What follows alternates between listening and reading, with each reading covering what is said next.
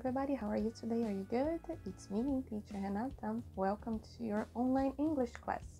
Hoje então vamos continuar com o nosso chapter 6, ok? We are talking about collections, remember that? Então hoje nós vamos ver um pouco sobre numbers, vamos fazer algumas atividades. We are going to learn some new numbers too. And we're also going to see a different kind of collection. Ok? Tenho certeza que esse tipo de coleção você tem pelo menos um objeto desse tipo aí na casa de vocês. So, are you curious to know about it? So, let's go to the class. Hey there, so are you ready to start the class today? So, let's just remember what was the last thing we talked about last class. Então, olha só, na aula passada a gente iniciou o nosso chapter 6, o show and tell. Remember about it? It was about collections and we also practice um, have and don't have. Hoje, então, a gente vai continuar com o Chapter 6. So, remember, this is it. Chapter 6, Show and Tell. Okay, it starts uh, to page 8. And today, we're also going to see page 10, page 11, and page 12. Hoje, então, a gente tem bastante coisa para ver.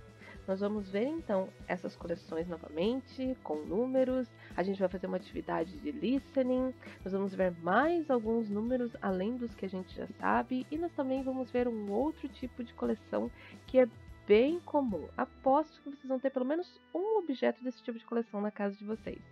So here it goes. Para a gente iniciar nossa aula, a gente vai ter que fazer um remember, ok? We need to remember the numbers we already learned numbers from 1 to 19. Então vamos lá, do 1 ao 19, very quick. Let's go. 1, 2, 3, 4, 5, 6, 7, 8, 9, 10, 11, 12, 13, 14, 15, 16, 17, 18, and the last one, 19. Então, agora a gente já pode iniciar a nossa atividade. So, take a look here. Let's go. Look, count, and write. So here we have a bedroom. And in this bedroom, we can see different kinds of collections. So, for example, this first one is a collection of cards. It's a card collection. And how about this one here? Do you remember? What are these? Caps. And here on the wall, what is this collection here? It's a keyrings collection. And the last one here on the bed, we can see lots of comic books. Então, olha só, deem uma olhadinha nessa coleção que tem aí nesse quarto. Todas essas coleções, qualquer coisa, dá um pause no vídeo para poder olhar com mais atenção e ver quantos objetos eu tenho de cada uma dessas coleções. E a partir disso, então, a gente vai responder as questions. Deem uma olhadinha então, rapidinho, and then we are going to start. Are you ready so? So let's go. Here we have 11, 14, 9, and 5. So the first one, 11. So what is the collection that we have 11 objects? 11 cards. If we count it, we can see 11 cards there on the desk, right? How about the next one, 14? 14 what? 14 key rings. Now we have the caps and the comic books. And the next one is 9. 9 caps or 9 comic books? Yeah, 9 comic books. That's right. So, of course, the last one is 5 caps. Well done, guys. Are you ready to go to the next one? So, now we are going to have a listening exercise. So, you are going to listen and choose. A teacher vai mostrar uma sentença, então vai falar, fazer uma pergunta para vocês e according to the pictures vocês têm que escolher qual dessas duas figuras que vai aparecer é a figura correta, right? So take a look here. This is the first picture, number one, right? We have a collection of caps, right? And the question is, How many caps do you have? And the answer is this one. I have six caps. So according to the picture, is this first one here or the second one? This is it, the second one. Let's go to number two. This is the second picture. We have lots of stamps here. So let's take a look on the question first. How many stamps do you have? And the answer, I have 10 stamps. So is the first one or the second picture? 10 stamps, course, is the first one. Well done. One more. Here we have number three, the last one. This is a collection of pins, right? So let's take a look on the question. How many pins do you have? And the answer, let's take a look. I have 11 pins. Count it there. Is this one that we have 11 pins or is this collection here? It's the first one. Well done. Here we can count 11 pins. Alright? Well done, guys. Now, vocês viram então que a gente fez esse remember dos numbers from 1 to 19 e nós praticamos eles. Porém, numa coleção, a gente pode ter bem mais do que 19 objects, right? Querem ver um exemplo? Vamos ver uma historinha então aqui. I'm gonna show you here. Pay attention. So here the kids are playing, and the boy says, I have 20 cards. And the girl says, This is a cool card. Now, moving on, the girl says, This is a very weird keyring. Ela está falando sobre um dos chaveiros da Emily. Lembra que a Emily tinha a coleção de keyrings? E ela está falando que esse keyring que ela está segurando específico, ele é very weird. Moving on, the next one. The boy says, This is a very beautiful cap. And the last one. The girl says, I have 30 fantastic comic books. Então, olha só quantos. Ela tem 30 gibis. E ela... Então, viram que até agora a gente tinha visto os numbers from 1 to 19.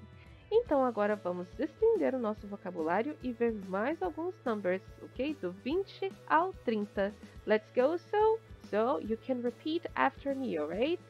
Let's move on. So, 20, 21, 22, 23, 24, 25, 26, 27, 28, 29, 30. Aprendemos então mais alguns numbers. Já sabíamos do 1 ao 19 e agora nós sabemos então do 1 até o 30. From 1 to 30. Well done, guys! Lembram que além dos numbers, a teacher contou para vocês que a gente ia falar sobre mais um tipo de coleção específica que provavelmente vocês tenham pelo menos um objeto desses na casa de vocês? Are you curious to know what is it? So let's go! Here we are going to talk about souvenirs. O que, que são souvenirs? Take a look here. Souvenirs are objects that we buy when we travel. Então aqui diz que souvenirs são os objetos que nós compramos quando nós vamos viajar são aquelas lembrancinhas que a gente costuma comprar. Quais são as lembrancinhas mais comuns que a gente vê quando a gente viaja? Hum, é bem comum a gente encontrar imã de geladeira, bibelôs. Quando a gente vai para a praia, é bem comum a gente encontrar aquelas lembrancinhas feitas com conchinhas, camisetas.